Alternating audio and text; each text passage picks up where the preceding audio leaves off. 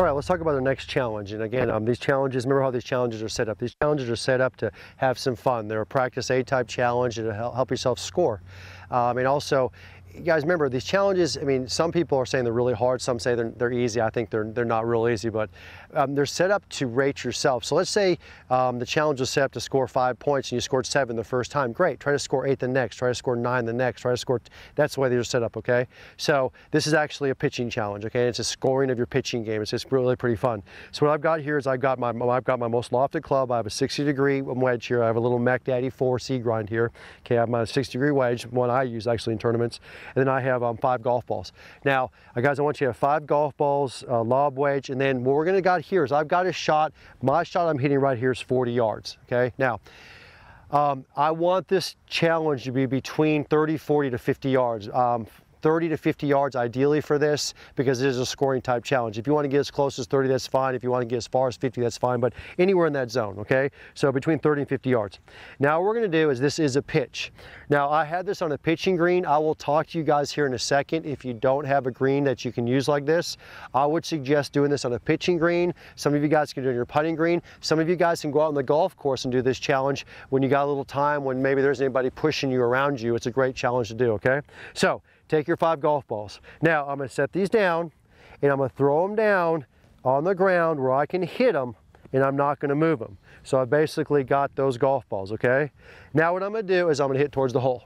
So obviously I'm gonna sit up here and I'm gonna go through a little bit of my routine. I'm gonna hit towards the hole. So I'm gonna step over the first one, okay, and hit towards the hole.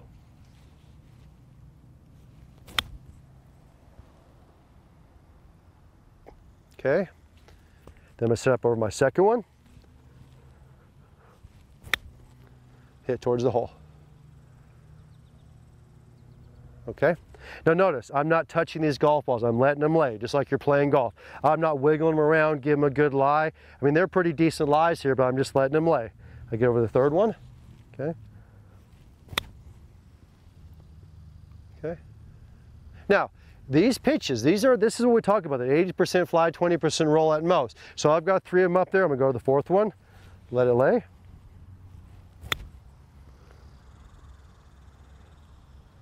Okay? And go to the fifth one.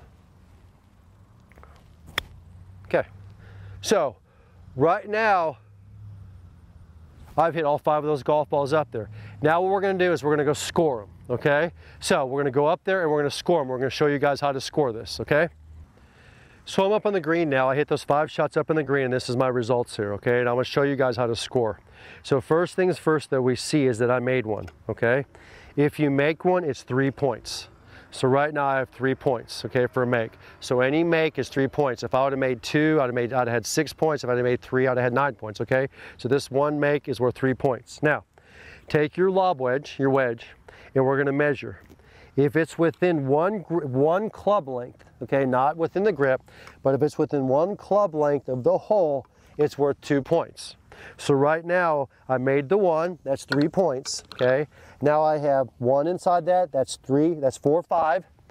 I got another one that's six, seven. So these three golf balls right now, I have seven points, okay? Now let's go to this one. It's not within one club lengths, but it's within two club lengths, okay? If it's within two club lengths, it's a point. So this is another point. So right now, that's another point. So that gives me eight total okay? Now I'm gonna measure this last one. I go from the hole back, okay? This one is not within two club lengths, so it's not a point.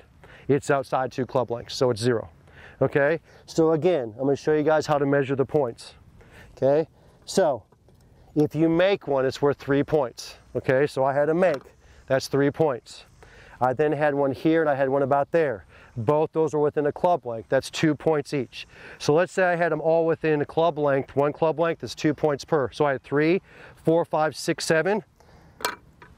This one was out here, but it was within two club lengths.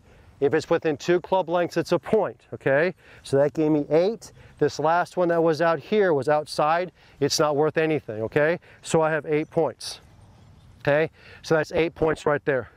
So eight points. Now what I'm gonna do is I'm gonna take these five golf balls. I'm gonna go back to that same spot. I'm gonna go drop them and hit them again. And I'm gonna give me that total and I'm gonna add it together. So we're gonna do this with 10 golf balls. Now the reason we do this with 10, with five and five is I don't want you hitting 10 in a row because it becomes like monotonous, becomes easy, we get the feel. I want you to do five, add up the points, go back, do it again. Add up the points, okay? I got eight points there. Let's say the next time I did it, I got six points. I'd have 14 total, okay? That's the way we do this, okay? Remember, a make is worth three points. One, a ball within a club length is worth two points. Within two club lengths is one point. Outside of that, zero, okay? Now, the challenge on this, I'm gonna be easy on you all. The challenge on this is to get 12 points, okay? 12 points. When I did this in college, our challenge was to get 16 points, okay? The highest I've ever gotten on this was 21. Obviously, I had some makes and so on in there, okay? That's my record is 21 on this, okay? So remember, a make's worth three. Within two, one club length's worth two.